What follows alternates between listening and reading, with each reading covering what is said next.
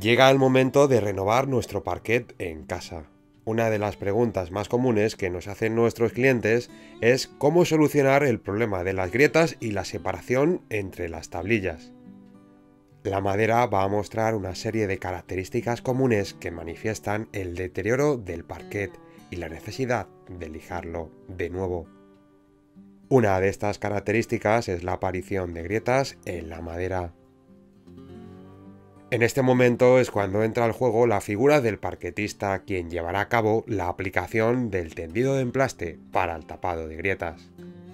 Más información en el siguiente post. Pascual Parquet, calidad y confianza.